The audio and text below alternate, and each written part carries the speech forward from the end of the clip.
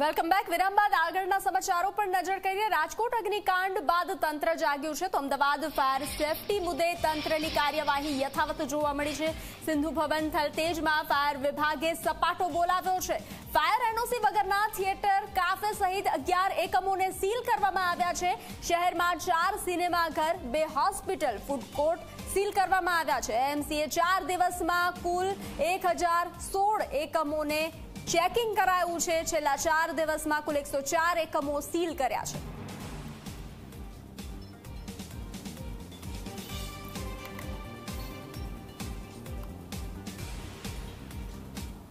વાત કરીએ સુરતની. સુરતમાં ગેરકાયદે બાંધકામ સામે અવાજ ઉઠાવતા કોર્પોરેટર જ વિવાદમાં આવ્યા છે. કોર્પોરેટર નરેન્દ્ર પાંડવ સપડાયા છે વિવાદમાં.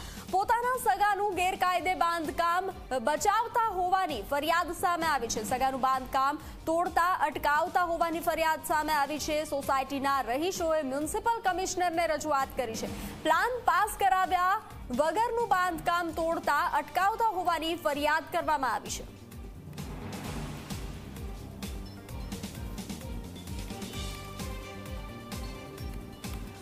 તો સુરતમાં ગેરકાયદે બાંધકામ સામે અવાજ ઉઠાવતા કોર્પોરેટર જ વિવાદમાં સપડાયા છે.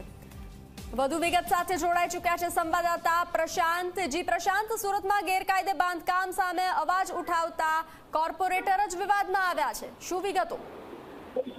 જે બિલકુલ કે ભાજપના જે કોર્પોરેટર છે નરેન્દ્ર પાંડવ દ્વારા ગેરકાયદેસર મિલકતનું ડિમોલ્યુશન અટકાવવામાં આવી રહ્યાનો આરોપ જે છે, શ્રી કૃષ્ણ સોસાયટી હાઉસિંગ સોસાયટીના રહીશોએ મનપા કમિશનરને કર્યો છે. તે ઉપરાંત પાંડવ પોતાની વગ વાપરીને સોસાયટીમાં મંજૂર પ્લાન પાસ વિનાનું જ બાંધકામ તોડતા અધિકારીઓને અધિકારીઓને જે છે ક્યાંક અટકાવી રહ્યા છે તે રીતના આરોપ જે છે અરજીમાં કરવામાં આવ્યો તેથી તેમની સામે ગેરકાયદેસર બાંધકામ તોડી કોર્પોરેટર સામે પણ કાર્યવાહી માટે લેખિત રજૂઆત જે છે હાલ મનપા કમિશનરને કરવામાં આવી છે. શ્રીકૃષ્ણ સોસાયટી હાઉસિંગ જે સોસાયટી છે, રહીશો, પાલિકા કમિશનરને લેખિતમાં કરી છે કે વહેલી તકે જે રીતના જે છે અરજીનો નિકાલ લાવવામાં આવે અને જે કોર્પોરેટર જે એની મનમાની કરી રહ્યો છે તેની ઉપર કાર્યવાહી કરવામાં આવે છે. જી, પ્રશાંત, જાણકારી સાથે જોડાવા બદલ આભાર.